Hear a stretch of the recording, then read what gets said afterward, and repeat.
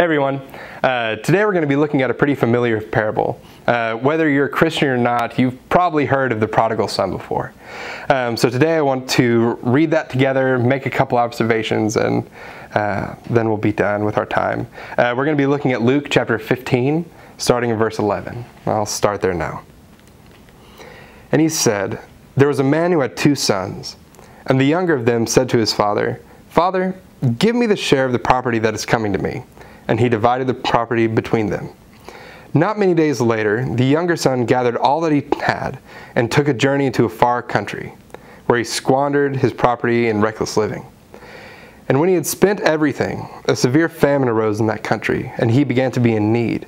So he went and he hired himself out to one of the citizens of that country, who sent him into his fields to feed pigs. And he longed to be fed with the pods that the pigs ate, but no one would give him anything. But when he came to himself, he said, How many of my father's hired servants have more than enough bread, but I perish here with hunger?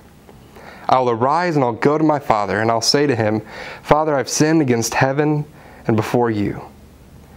I am no longer worthy to be called your son. Treat me as one of your hired hands. And he arose and he came to his father. But while he was still a long way off, his father saw him and felt compassion.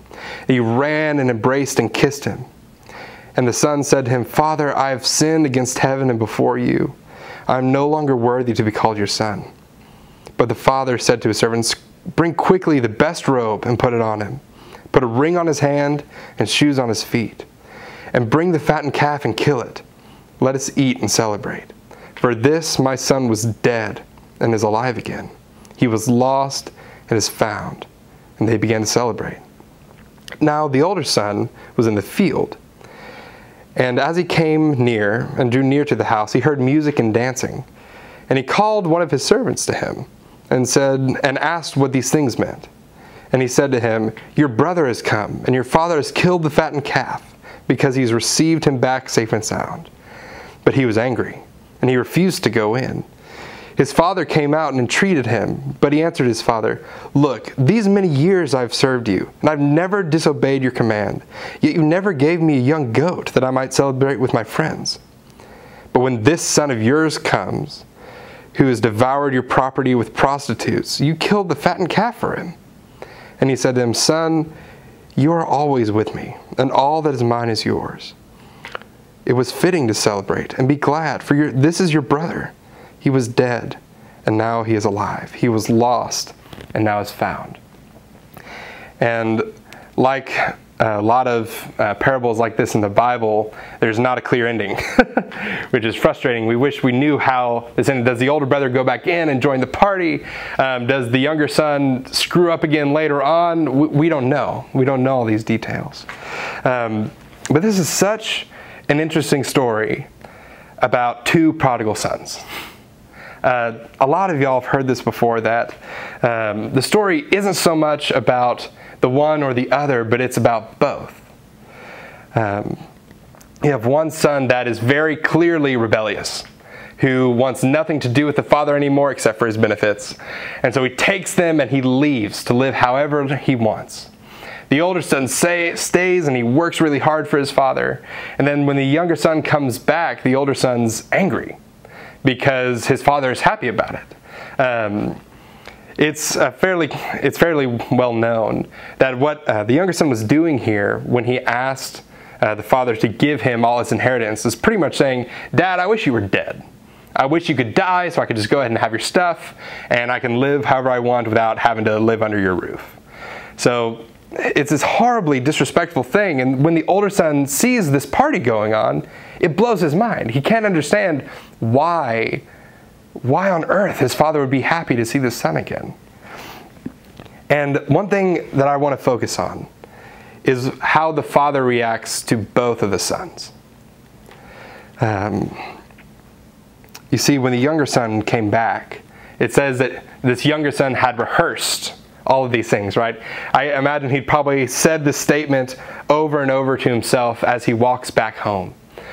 But as he's still a far way off, not where he pictured having that conversation, his father sees him, has compassion, and runs to meet him. Um, And uh, at which point, I'm sure the young son was probably surprised that his father was that excited to see him. And he goes through his uh, rehearsed message, like, I'm sorry, I've sinned against heaven and before you. I'm not worthy to be called your son. And the dad's pretty much like, shut up, we're having a party.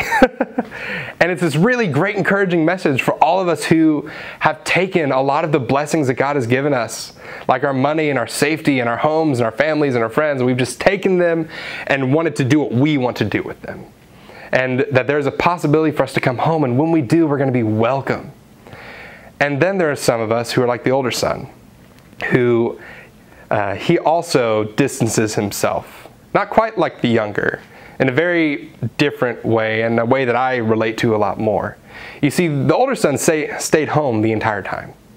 Uh, he stayed where he felt like he was supposed to be, where he felt like he had to be. He served his father, and he did, uh, according to him, which we you kind of doubt what son ever, never disobey their parent. Uh, but he says he's never disobeyed his father, he's never done anything wrong.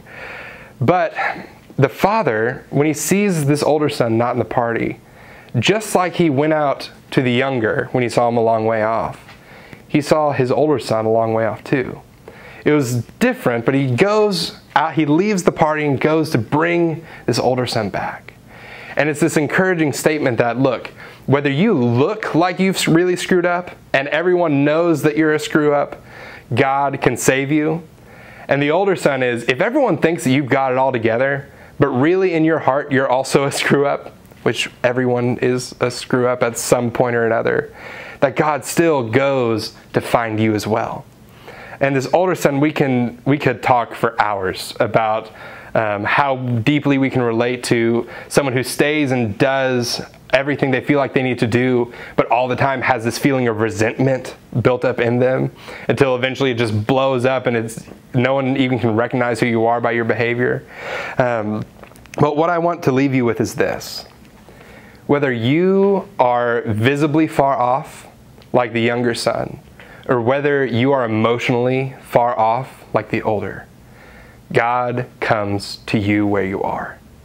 He comes and meets you in that place. As soon as you're within eyesight, He meets you in that place. And from there, He brings you home. You don't have to be perfect yet. You don't have to come home having everything figured out. You don't have to come home with some sort of speech in mind. Your Father just wants you home.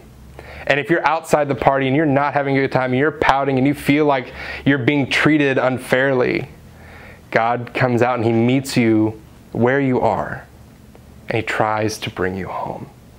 Um, I don't know your situation. I know for me, I resonate with the older son more times than not. Of this person who feels like they've done a good job and lived a good life. I'm a professional minister. But I still have times where I have uh, these negative emotions build up in me and I have this resentment of, man, I've done all this good stuff. Why, where's the payoff? Why can't I have my party? Um, and that's we missed the point. The older son's problem was he couldn't be happy genuinely for his little brother. He couldn't be happy in his work for his father. Um, but before we go down that rabbit hole, I want you to hear this. God comes to find you. This is uh, this parable is found in a chunk of uh, these parables of lost things. We have the lost coin, the lost sheep, and the prodigal son. And in each of these, it's all about how God comes to find you. And God is looking. And He's really good at finding. all you have to do is make yourself known. Um, whether you're emotionally far off like the older brother, or if you're physically and, physically and more uh, tangibly far off like the younger, He wants you home. Um, if you want to be notified whenever we put up a new video, you can subscribe to uh, this channel. You can click the bell icon. But until then, we'll see you next time.